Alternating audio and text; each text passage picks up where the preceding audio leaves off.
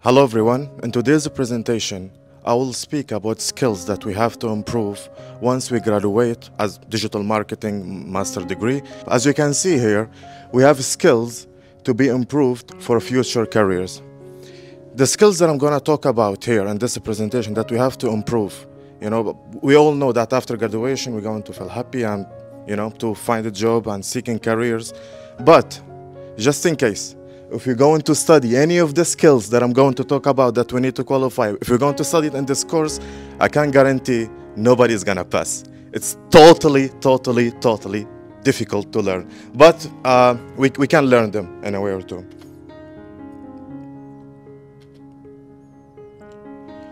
Well, missed qualification uh, from first company uh, requirement, as, as you can see. Well, we have this company, it's called Ashton Gate. There are missing qualifications that I really personally I need to improve. And you know, I'm very well known as a hater of computer programming. The first one that we have here is SSO. From the, from the name of it, you can know how terrible it is. It's single sign-on, which means is an identification method that enables a website user to log in in multiple applications with one set of credentials. It's terrible, literally terrible. But uh, learning this one, single sign use, it makes you logged in completely in such different types of websites. There is a method on how to deal with it. It's very, uh, uh, it's very required and needed in, in many companies.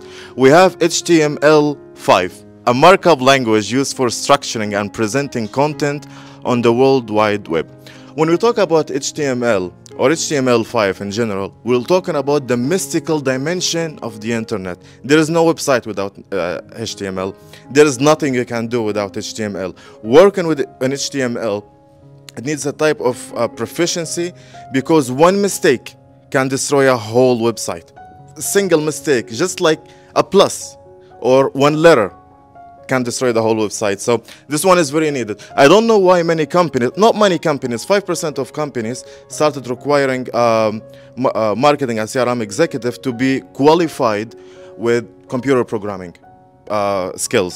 Not, not many companies, but some of them. So this is one of the uh, skills that must be improved. The other one is CSS.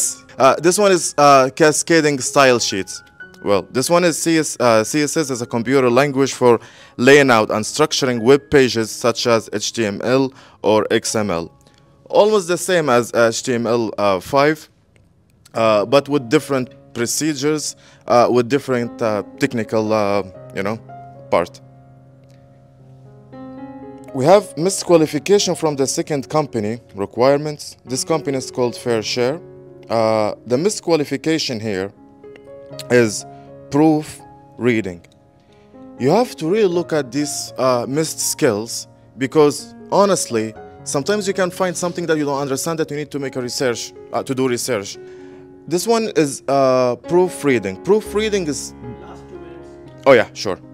Uh, check a final draft carefully and correcting uh, typos, grammatical mistakes, and other writing issues before public publications. Well, and in that part, you need to correct other people's uh, mistakes when they write grammatically, and this one you have to improve. Well, uh, from the other side, uh, there's a contradiction here. Well, I'm not qualified to be a proofreader, but at the end of the story here, I have written uh, two books with 150,000 to 200,000 words. Those are the books, but still, I'm not qualified. So how did I write them?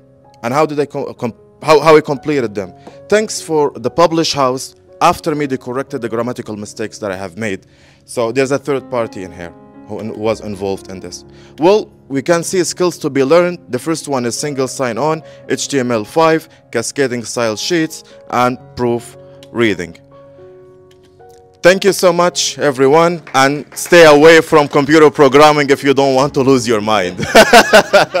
Thank you, ladies and gentlemen. Thank you so much. Thank you. Wake up, today's gonna be a good day. Wake up, today's gonna be a good day. Wake up,